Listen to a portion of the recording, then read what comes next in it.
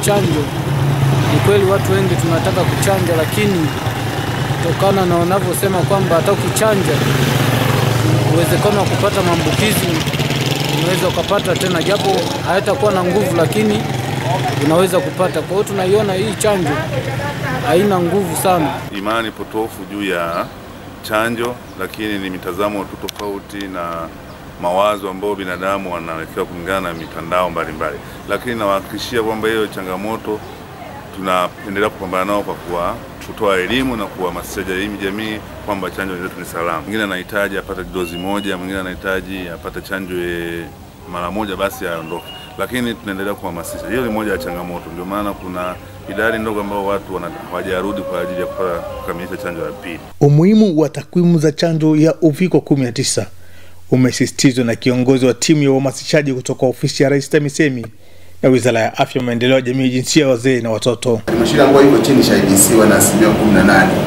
Shetu wana asilimia 34 na wapili kutoka mwisho, na Kahama wana asilimia 61 na Msalala wana asilimia 60. Hao ndio walau bajeti wanajitahidi na MC na MC asilimia ngapi MC? hamsini na moja at least, lakini wale wengine bado wako chini. Kwa hiyo pia hapa tuna kazi ya kufanya, wenzetu waweze kuingiza hizo takwimu zionekane kwenye mfumo, kila mtu aweze kuziona. Katika manispaa ya Kahama hali ni tofauti, kwani mwamko wa wananchi kujitokeza kuchoma chanjo ya uviko 19 ni mkubwa.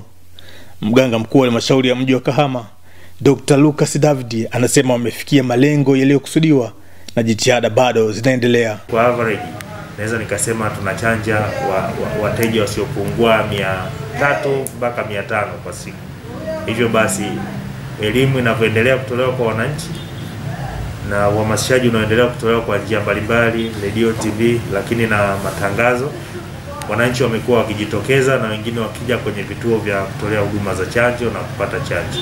Baadhi ya wakazi wa mji wa Kahama wameeleza sababu za wao kujitokeza kwa kupata chanjo ya uviko 19 huku mratibu wa chanjo katika mji wa Kahama na mratibu wa elimu ya afya kwa umma na wakazungumza mwenendo mzima wa zoezi la uhamasishaji. Chanjo chanjo zote mbili na hazina madhara, ziko vizuri. Naomba Watanzania walielewe hili jambo. Kuna wimbi la nne sasa, inatakiwa watu wachanje ili waweze kujikinga na COVID.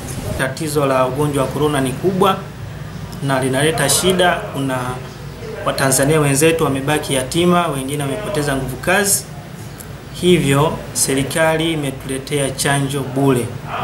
Tuhakikishe kwamba hizi chanjo tunazitumia kama fursa. Wananchi wajitokeze kwa wingi waweze kuunga mkono Wizara ya Afya, Maendeleo ya Jamii, Jinsia, Wazee na Watoto ili waweze kupata chanjo.